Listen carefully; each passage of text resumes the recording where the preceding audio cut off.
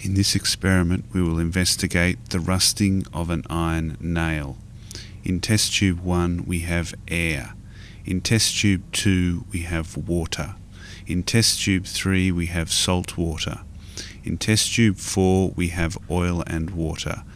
The oil stops oxygen from entering the water. In test tube 5 we have chilled water. In the rusting reaction iron combines with oxygen to form brown iron oxide. The amount of brown iron oxide indicates the rate of chemical reaction.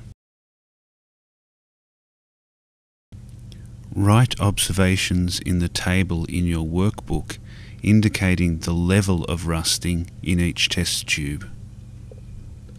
This allows you to draw a conclusion as to the rate of chemical reaction in each of the conditions tested.